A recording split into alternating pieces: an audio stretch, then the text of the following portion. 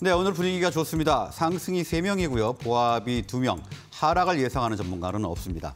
자, 먼저 데일리 테마의 현상철 이사, 보합권장 예상하면서 코웰 패션에 관심 가지고 있고요. 다올 투자증권의 이성우 차장, 상승장 전망하면서 코웨이에 주목하고 있습니다. 이데일리온의 서영원 전문가 보합권장 예상하면서 코스맥스 관심주로 꼽았습니다.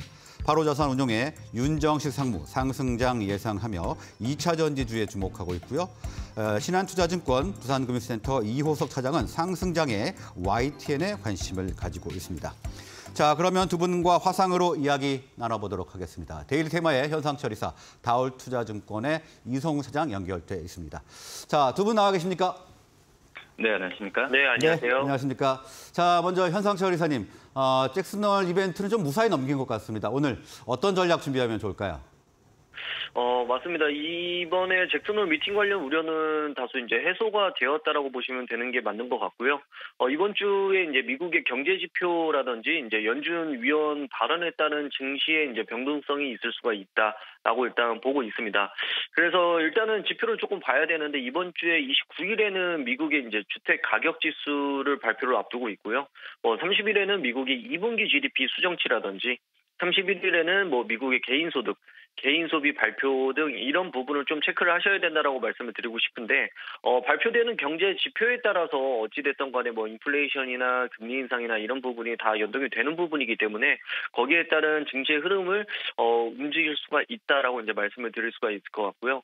어, 이번 달 뉴욕 증시가 굉장히 좀 부진했던 부분이 존재를 합니다.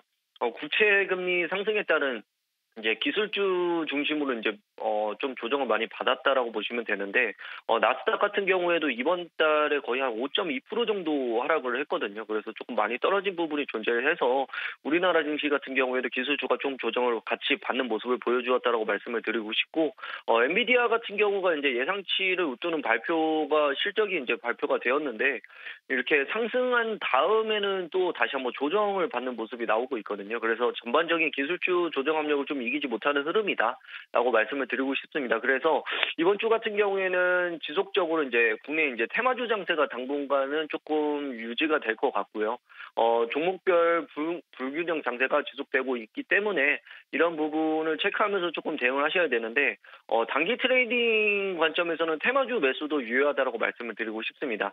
다만 이제 고점으로 올라온 종목 같은 경우에는 추격 매수는 좀 자제를 해주시는 것을 권장을 드리고 뭐 기존 종목을 가지고 있는 종목들이 좀 이슈가 발생을 해서 좀 급등이 나온다면은 좀 수익을 좀 챙기는 현금 확보하는 방법과 그 보유 종목을 좀 대응하시는 부분 그리고 신규 매수 같은 경우에는 조금 비중은 적게 조금 진입하시는 부분을 권장드리고 싶습니다.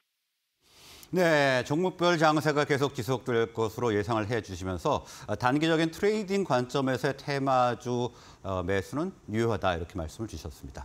자, 다음은 이성훈 차장님. 자, 잭슨홀의 영향이 글로벌 증시에는 좀 어, 미미했던 것 같습니다. 오늘 어떤 전략 준비하면 좋을까요?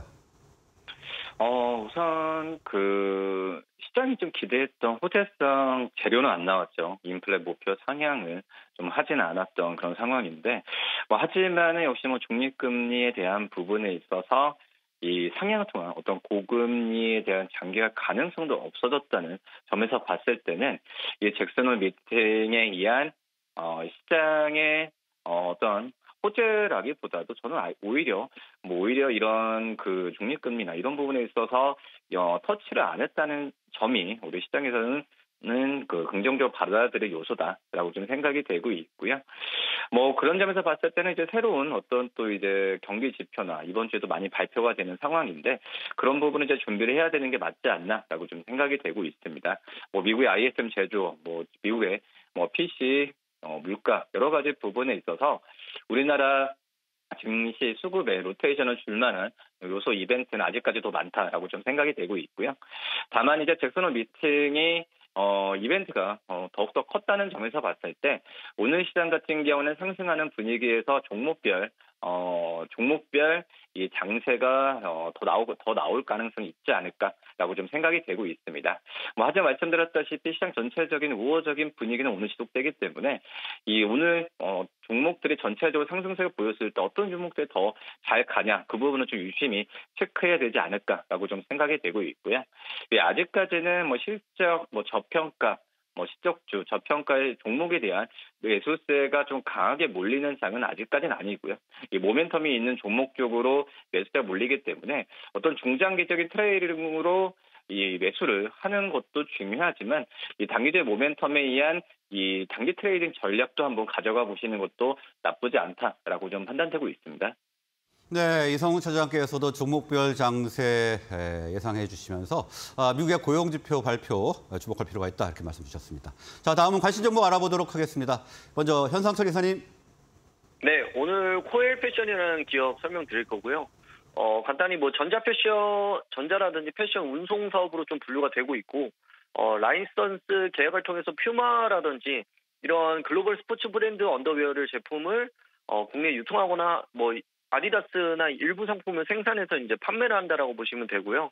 어, 사실상 코웰 패션 같은 경우 패션주로 이제 많이 엮여서 움직인다라고 보시면 되고 중국 단체 관광객이 이제 들어오면서 좀 소비주들이 좀 강세를 보여준 부분이 존재를 하는데 패션 관련주 같은 경우에도 순환매 가능성이 조금 있다라고 말씀을 드리고 싶습니다. 뿐만 아니라 뭐 23년 7월 이제 지난달이죠. 지난달에 패션 사업 부문을 좀 인적 분할한다는 이슈가 있기 때문에 이런 부분에서도 좀 메리트가 있고요.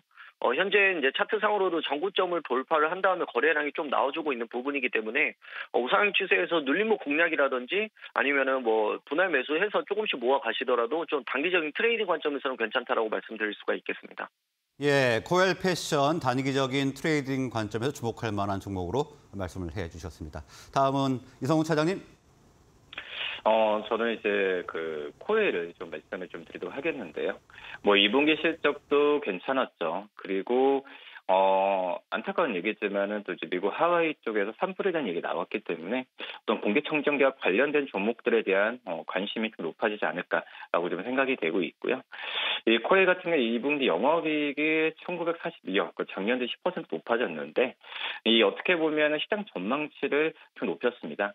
뭐 전체적으로 국내 쪽에서는 안정적으로 매출이 나오는 사업 부분이 바로 이제 이 정수 렌탈이라고 좀 볼 수 있겠는데 중요한 부분이 해외 쪽이죠. 음, 말레이시아도 그렇고 미국 법인 쪽에서의 음, 정수기보다는 어떤 공기청정기에 대한 렌탈 부분에 대한 기대감이 좀 크지 않을까라고 좀 생각이 되고 있고, 뭐 지금 현재 본다고 하더라도 이 새롭게 어떤 코웨이의 이 사업 그 법이나 볼 수 있겠죠. 이 태국 쪽에서도 이 영업 적자가 좁혀지는 모습 봤을 때 해외 쪽에서의 실적에 대한 부분은 하반기 때 상반기가 더 기대를 해도 괜찮지 않을까라고 좀 생각이 되고 있고 그리고 전체적으로 이제 판가가 인상이 좀 나와주면서 이 수익성이나 이 영업이익률에 대한 기대감도 높아지는 게 바로 이제 코웨이의 어, 그런 전망이라고 좀 말씀을 드릴 수 있겠습니다.